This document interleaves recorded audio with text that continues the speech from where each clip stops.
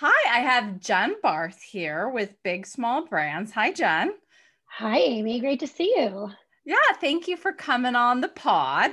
So Jen Barth has is a I, I would want to say that she's a PR research expert because she's a lot of her background is in PR research and it's very distinct background.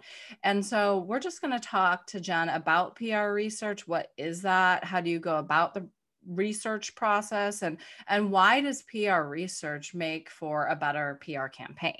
So, I don't know, just kick us off with, you know, what is PR research? Well, thank you again. I'm so excited to be here. I've been a follower of the podcast for a while now and definitely gotten great nuggets that have helped me in my day to day work. And so it's fun to be here and share some info. Um, I have to, when you ask me that question, I think back to my very first job was in PR. I sort of fell into that first role like a lot of people do. And I remember early on, it was because I've always been a person that has been sort of curious by nature. So when I look back to my favorite childhood book. It was Harriet the Spy, right? And Nancy Drew. And that sort of like, what's going on? And I didn't realize it when I got involved in my career that that curiosity was sort of this through line that would um, take me through various roles. Pretty early on in PR at that time, and I think I'm probably dating myself, but there weren't as many connections between the various disciplines. And I remember asking my boss, great, we're, we're doing all of this work to get the media to pay attention um, to our company, which was in the retail business. Are we selling any more clothes? And she said, that's question. not PR, right? Um, and she said, that's not PR's job. Our job is just to get the media hits. And I thought, okay, but that seems like not not real enough. And so I said, how would I find out if we were selling more clothes? And she said, uh, you could go down the hall and ask Larry and research. And to this day, I still remember that guy's name because I didn't even really know what research was other than what we did in college. And so I think early on, even though it wasn't formally in me from a training perspective, I understood that there was this connection between words and messages that communicators try to work, try to get out and the business goal that an organization has. And so over the years, I think my roles have always stayed in the realm of communications, but I have gotten closer and closer to that world of what is the end user, what is the customer, what is the client needing to make happen, um, and what does success look like for them so that PR and communications and marketing can support that.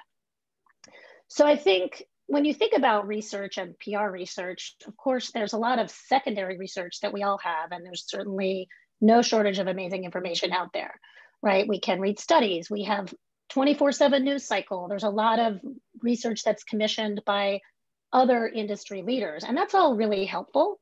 Um, and we can also take a look at things like social media analytics and website metrics. But that's really just one small piece of how an organization can solve a business problem.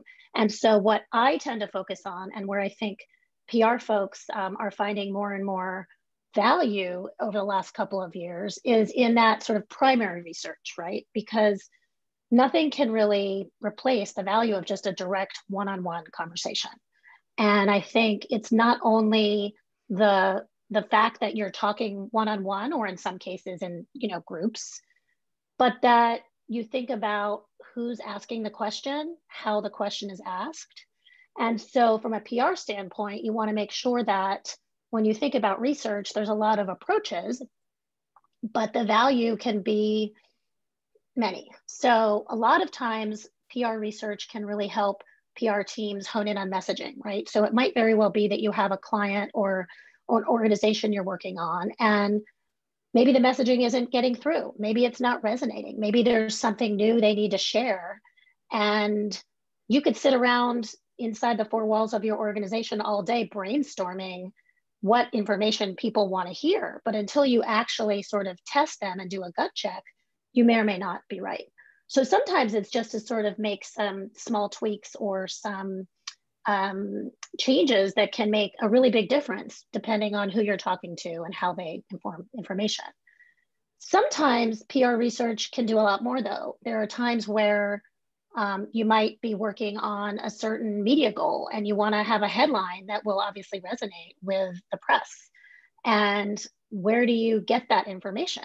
sometimes it can come from internally, but often those insights are much better when they come from the people who you are working with. So whether you mean like your clients or yeah. Mm-hmm. Exactly. So there are various audiences that different organizations connect with, but I've been in situations where businesses have spent lots of time, internal staff time, money, resources, creating messaging and going back and forth and internally revising it and revising it. And my guess is you've been there a few times with organizations. Um, and then suddenly, if you step back and someone else walks in the room that has sort of fresh eyes, they can sometimes see something that you're not seeing when you're so deeply in the middle of it, right? So the idea of getting an outside perspective is really not that complicated, but I think sometimes we just don't realize that that's that can make a huge difference. So when you think about what would be the value of research for a PR person, some of it is just getting a different perspective, right?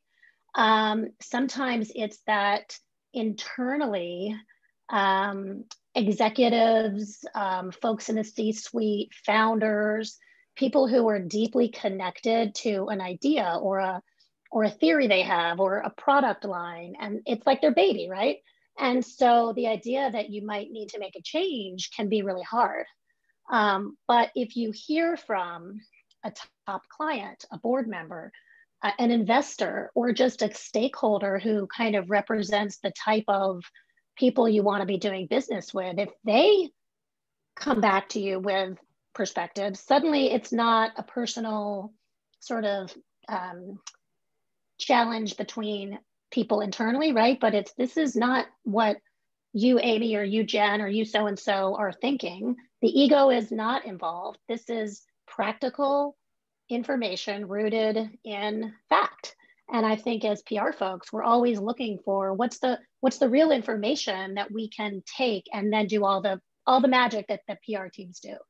Yeah. So um, and and also when we worked together, because we worked together mm-hmm. on actually a DEI campaign, well, rebranding yeah. a DEI company.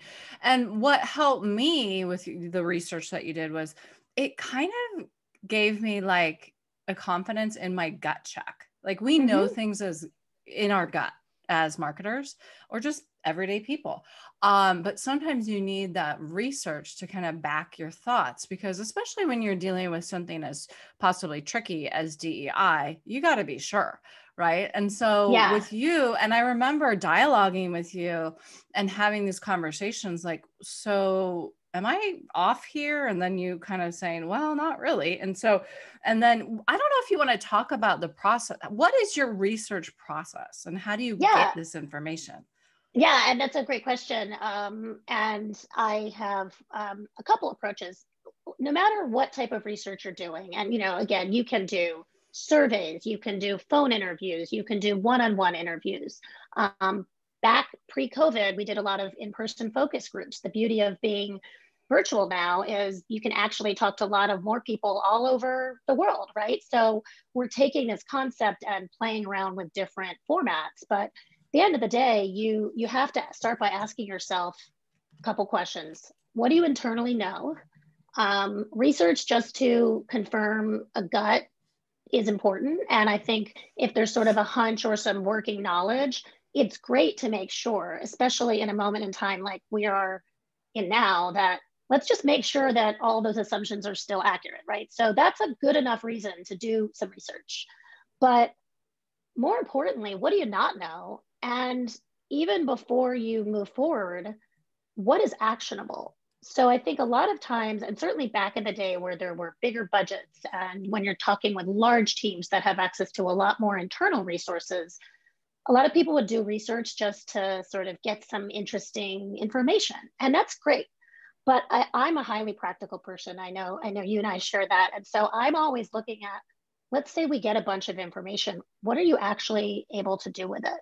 And so when I think about how organizations are set up, I usually do a little bit of internal research with internal stakeholders. And I know you and I um, have collaborated on that in the project we worked on, because you really want to make sure that wherever you take these conversations, there is the ability to listen, act on it, and that there are built in structures in place to pay attention. And even though that sounds really basic, I can't tell you how many projects I did earlier in my career.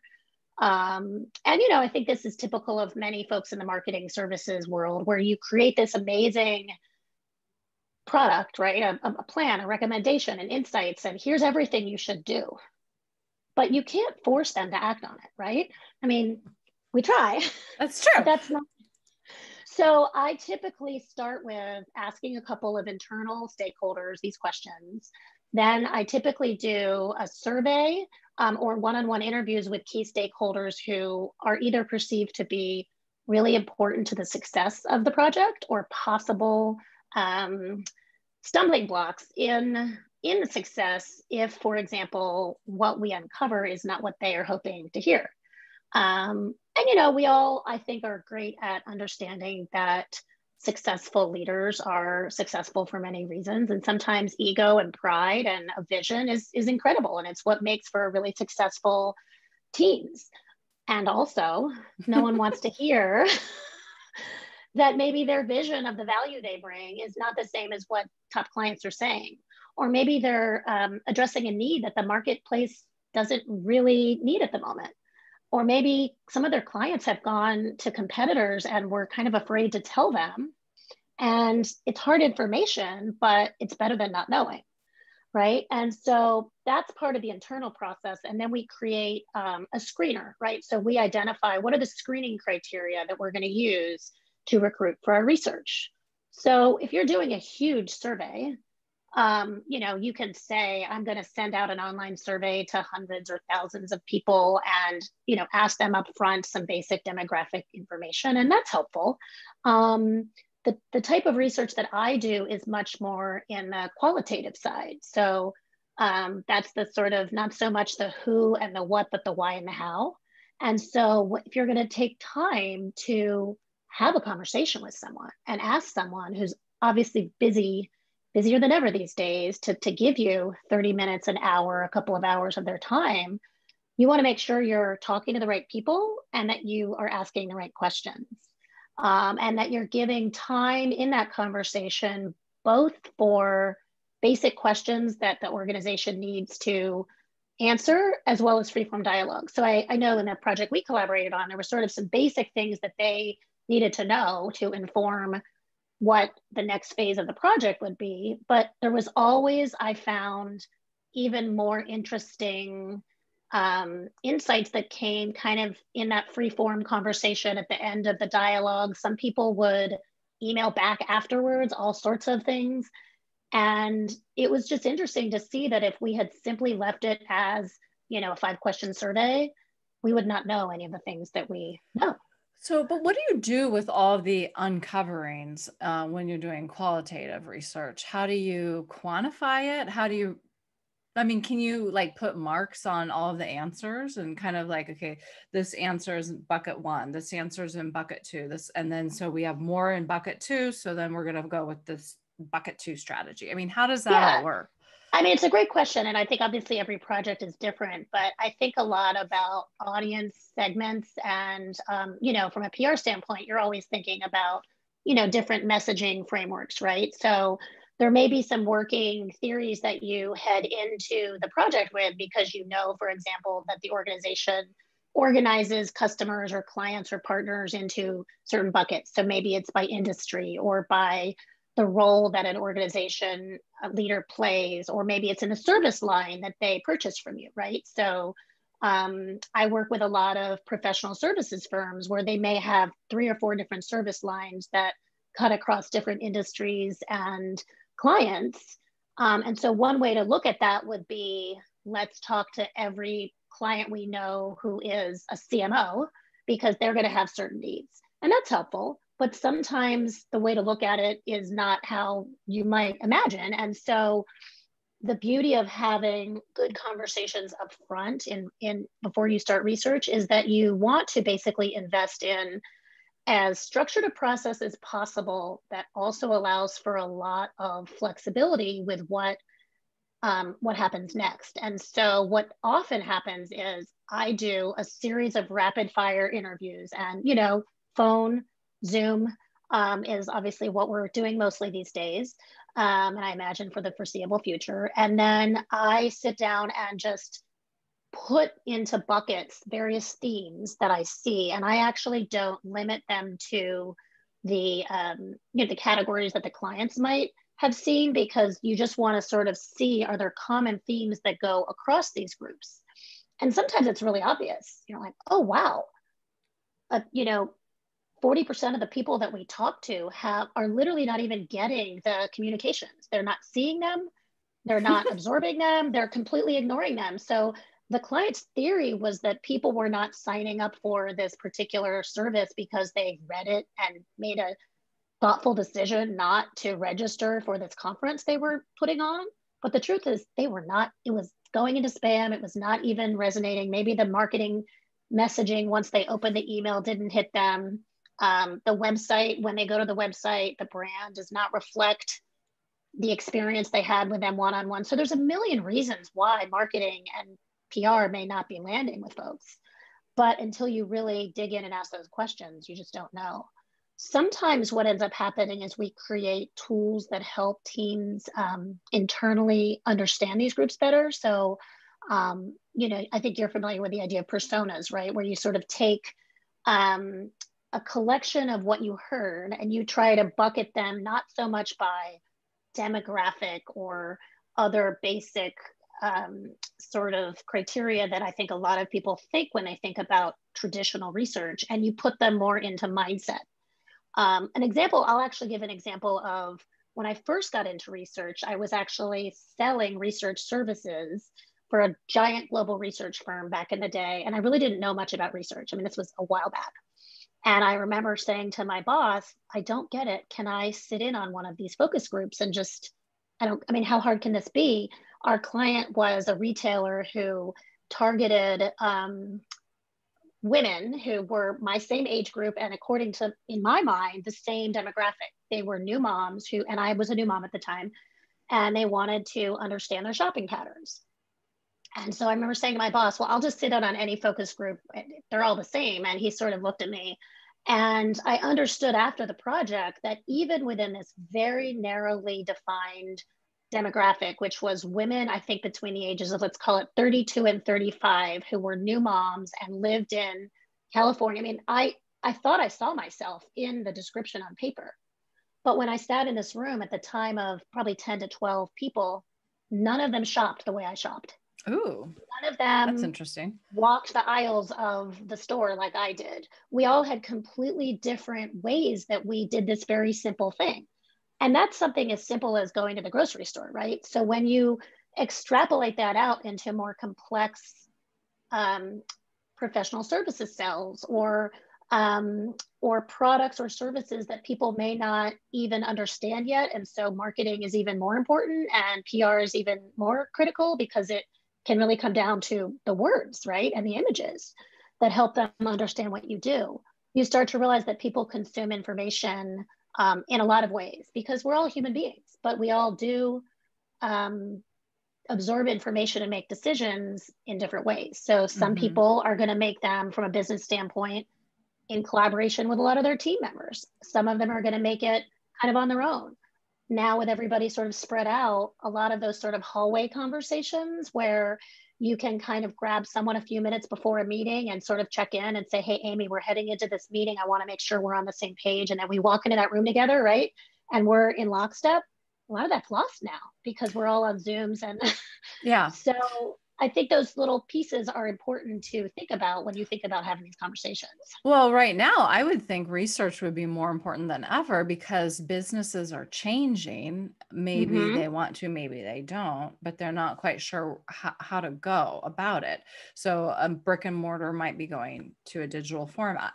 So, I don't know. Have you noticed that a lot of people are interested in research or that maybe they just don't know enough about it to know yeah. that they need it? It's interesting. I mean, it's hard to it's so hard to know, right? Because we're we're all still getting used to what life is like right now. But here's what I'll say. Um, I have always believed, and I said this 10 years ago when I started my firm, and five years ago when I got really much more focused on the research part of marketing. Um, and I think I'll say it forever is that investing a little bit in the short term to gather practical information not only sets you up for success when you have a lot of clarity in your plan, but it also allows you to be really flexible and the word that we all are sick of, but very nimble um, should things change. So sometimes people just do research um, because they want to get information and that's helpful, but you don't know what you're going to need to know maybe two months from now, six months from now. Nobody could have anticipated all the changes that were happening, going to happen this year, but organizations that at least have a good baseline and a kind of a, a good connection with folks they can do that gut check with are going to be better positioned to make decisions quickly to pivot. Another word i'm sick of but we we do it every day. It is what it is. And also to um, figure out how to be more resourceful with the limited in time and resources you have because gone are the days where we have giant budgets and giant teams and lots of people who can get together quickly in a conference room and make a decision and there's just so many challenges that we're all faced with right now. And we see every day businesses that have been able to move quickly and be successful and keep growing, um, or, or at least, if not grow, hold on to the revenue that they had and maybe think of new ways to service folks. But it all comes down to do you have a good framework for making decisions on the fly? And if you are working off old information, you, you probably don't. well, and it's also though that you have a good sense of who your customers are or who your mm-hmm. external stakeholders are. And yep. so you can be more comfortable pivoting if you already yeah. have that. Or some companies might revamp their research and it might not have to even be that in depth if they already have a lot of information. Well, I think that's the point is I think people get this idea about research that it's big and giant, and it can be, but just like, you know, I'm sure if you meet someone and you say you're in PR, they may or may not have the exact idea of what that is. But these are big words marketing, PR, research, but we're all part of the same landscape that's just trying to solve the same, you know, similar questions and looking at it from different angles. And I think the research I've seen over the last couple of years, and certainly over the last year, has been a lot more of this fast, quick. Let's let's talk to ten customers. Let's talk to twenty clients. Let's do a quick um, focus group of folks that really matter to us because the last thing we want to do in a time like this is lose lose hold of them. And if you have a good system set up where you can, for example, send a quick email out to you know, a bunch of people and do a basic survey that collects a little bit of information, again, to screen and make sure that you're not kind of wasting resources talking to the wrong folks.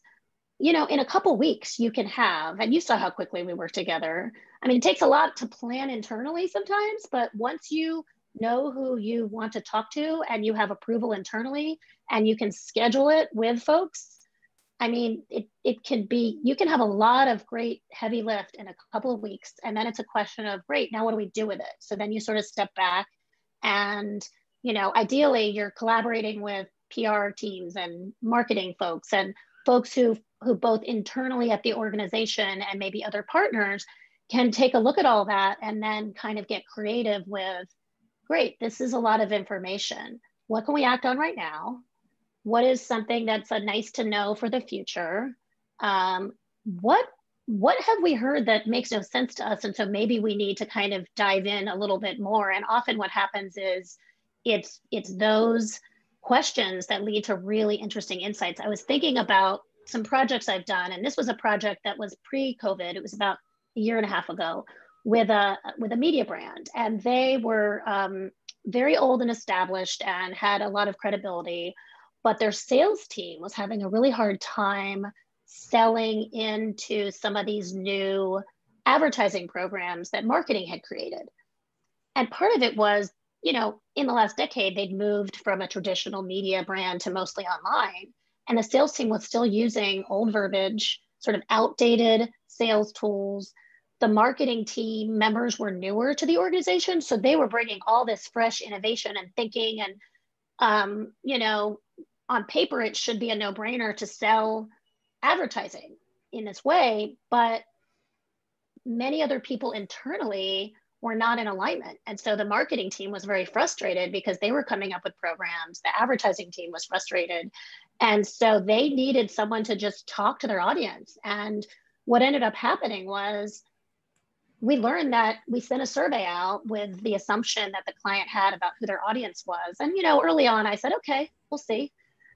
We'll pick 15 people we talk to. And the 15 people we talked to were groups that were niche groups that were not even really on their radar. They were not seen as primary groups to market to. But based on the information we learned from them, they quickly were able to shift a couple of their offerings, do sort of an experimental um, advertising outreach. It it landed immediately well. The response rate was much better because they were suddenly knowing how to market to a different audience, but they didn't even know the audience was there. And mm-hmm. there was, I'm not going to lie, there was some internal politics, right? Because you have sort of old school thinking and new school thinking. I think if that same project had been done this year, we probably would have a lot less of that because people aren't sort of sitting around and debating in rooms for hours and well, hours. We're just doing the work. yeah. Well, also, I do think it helps to bring an outside party in for two reasons. Yeah. So it's everything that you're talking about internally. So that helps, right, with the ego and whatnot. But then also externally, when you're doing external interviews, people might open up to you a lot easier yeah. if they think you're just, that they're not going to offend you right. Well that's just it. I mean you what i do i'm not going to lie i think it's not rocket science right? I mean anyone could technically call someone and ask questions right? Um, and the beauty of having an unbiased um, and bias is obviously something that we think about a lot um, these days. An unbiased third party resource who will not not only not reveal any of your specific details, right? So this is all anonymous, but I have no agenda other than let's make the communications more successful. So sometimes you might have a marketing team internally who has this idea about something they want to create. And so they're going to do the research.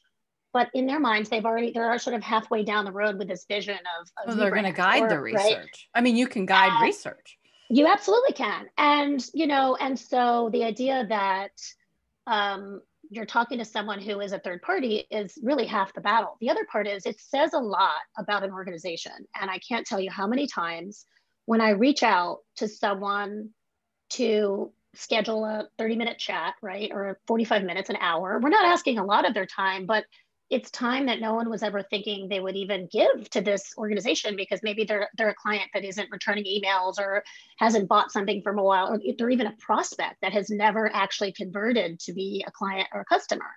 And so the expectation was low that i'd ever hear back from them. But what ends up happening pretty quickly is you hear a couple things. You think wow this says a lot about this organization that they're taking the time right now to do this. Hmm that's interesting. Tell me more. What what might they do with this information? And while obviously I can't promise anything, even just saying we really want more perspectives to guide our future efforts. We, oh, we want to get better. Yeah. It that is sometimes all it takes for someone to just open up and give a floodgate of information and knowing that that will get back to that organization sometimes that's all they need to feel the confidence that you know what I maybe didn't hear from them in a while, or maybe I had an interaction with them that wasn't great, or maybe the investment we made in their services isn't paying off. But I feel like I'm in good hands because this is a thoughtful leadership team that's taking some time to ask us how they can get better. And so even if I don't write the questions themselves and all I do is ask them, it's a totally different kind of response you can get. And so obviously when you can collaborate and work with other folks to make sure that hey, as long as we're spending this 30 or 45 minutes, let's get as much information as we can. Um, it's typically way less costly to do that than to invest in doing the same old thing or maintaining new new ideas in an old mindset or just investing resources that aren't effective. So, and how are you brought into projects? Are you brought in mostly by PR people? And then, if so, how do you collaborate with them? That's a great question. I, I mean, a lot of my clients are, I would say most of the clients I work with are professional services firms, whether it's PR teams or a, or a marketing team, or sometimes there's a research firm that needs some backup.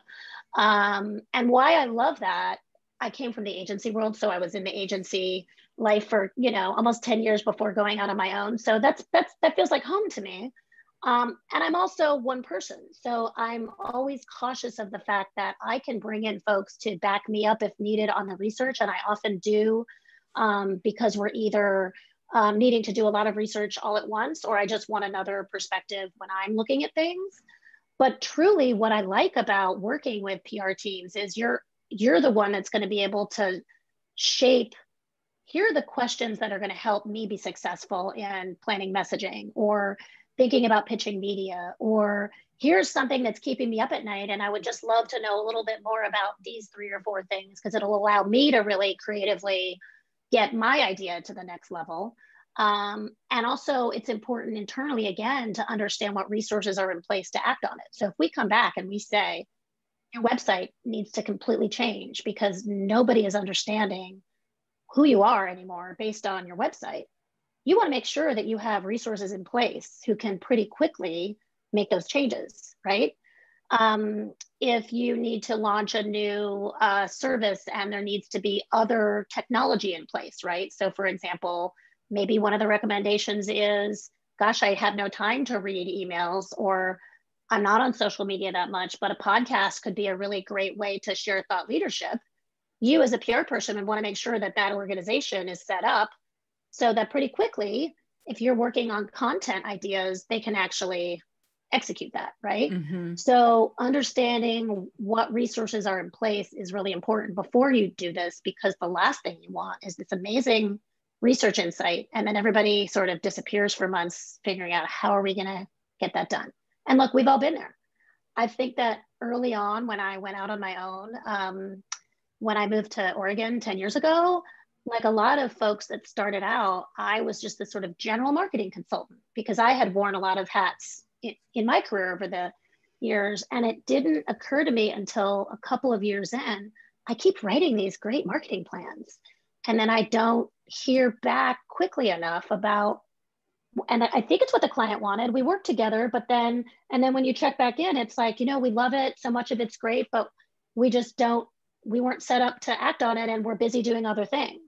And so I honed in on research several years into being on my own because I sort of said to myself, I don't want to be that marketing consultant anymore that comes up with a bunch of things on paper that are internally produced and nobody is actually able to act on it. So research yeah. to me is building it from the from the not inside out but outside in, but you have to be working in communication the whole time so that you have structures in place to move pretty quickly. Well, or you you I mean I just want to reiterate your first step because people might forget your first step is to see what resources are in place and talk internally before you go externally, which I think is very smart I just don't know. I don't think I knew that honestly. So, um, because well, I think you actually me, brought us in.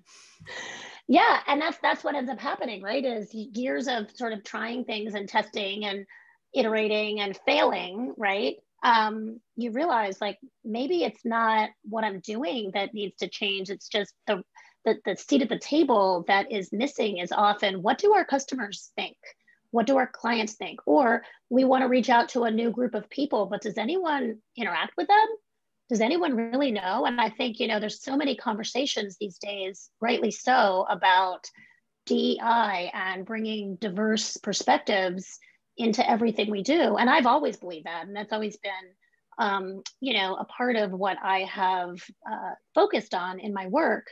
And research is just one more way to make sure that you have voices that represent not only who you are, but who you want to be and need to be, and who the world is around you.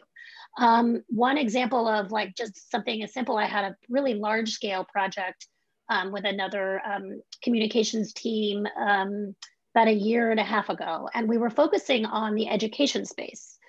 And there was a client that was not succeeding in recruiting folks to um, sign up for their various courses.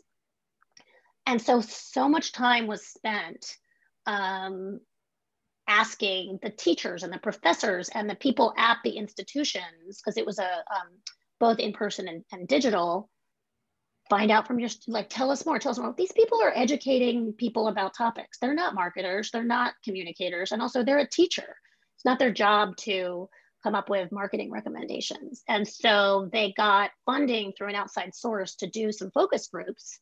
And all we did was you know we picked some groups that we knew were underrepresented and we said to them we've never really heard from you. We want to know what we can do. And you know we kept it very comfortable and very casual. And these these were different from some of the like sort of professional hardcore like business interviews we do. Because these are students, these are young people, these are folks that are just maybe um, a couple years into school and juggling a lot.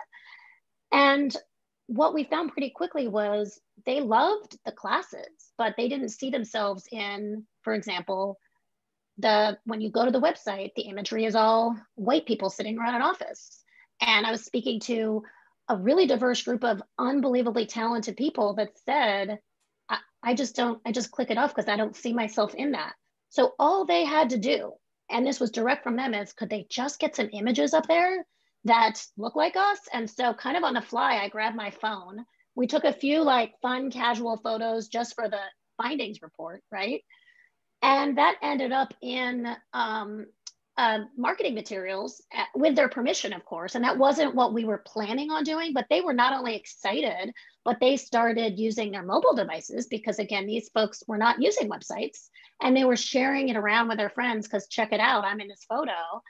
And this wasn't like a marketing gimmick, it wasn't like some sort of PR tactic. This just came from a couple women saying to me, that that's not who I am.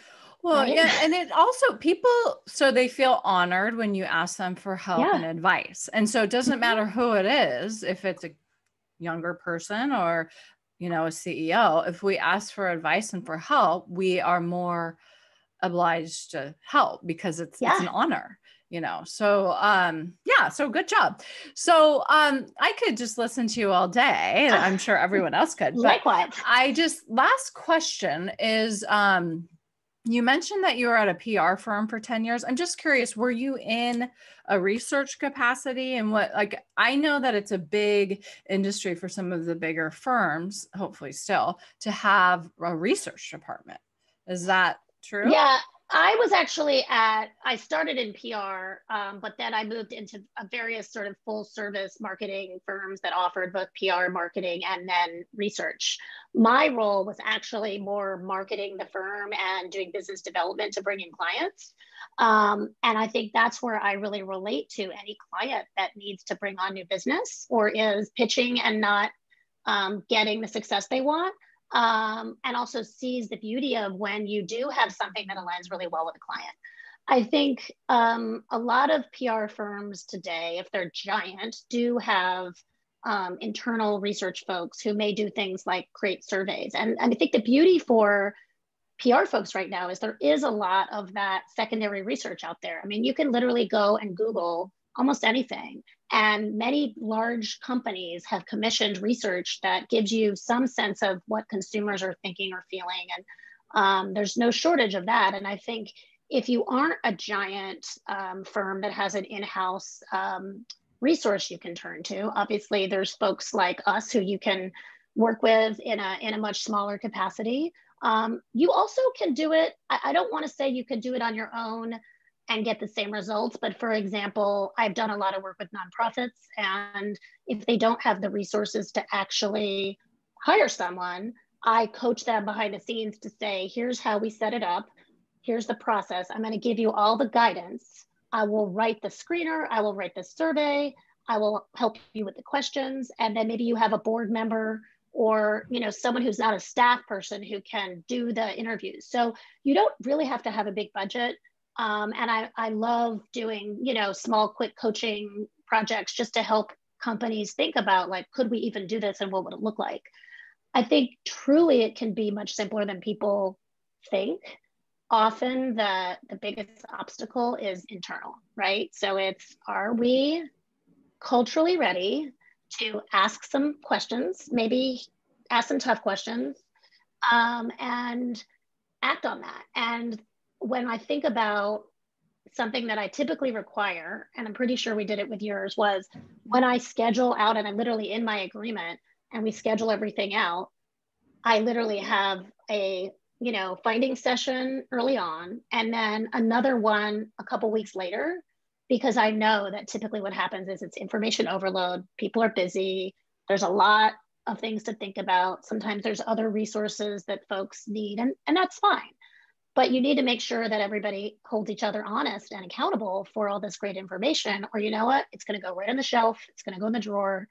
And not only will it have been not time well spent, but people then feel guilty that they know this and not doing anything. We don't have to do that. We okay. don't have to do that. So you help. Okay, so that you're very thoughtful because you've you've been in sales, you've been in marketing. Yeah, yeah. It's not just research. Okay. And and really, my background was in sales early on and uh, marketing and sales, and I kept saying I'm not a salesperson, right? Because I'm I'm a marketer. But ultimately, as you know, they're all connected, right? Because we're all selling. You might be selling an idea or a concept or a product or a service, but you need to make sure that you are positioning yourself well for whoever you're talking to. And so once I sort of got over that um, idea, I, I, think a lot just about insights that drive revenue growth and um, who doesn't want to grow um, or make better use of the resources they have. And look, we're all just trying to help each other out right now. So um, we we all have to keep connecting and collaborating, which is why it's so fun to see you again. And uh, yeah, Yay. Well, thank you. Yeah, this was great. And I love Zoom because now I get to I see know. my friends. And and really I just want to say this that don't be afraid. No one should be afraid to tackle this. And even if you don't enlist anyone's help, um, you know, there's some simple things you can do internally. And um, uh, there's a lot of great information out there. And I'm always happy to chat with someone if they just want a few terms demystified. And, you know, we can connect later about that. But um, we are all at a moment in time where information is everywhere and yet there's maybe not the clarity we once had and so i think getting different perspectives on anything you're thinking about is is really powerful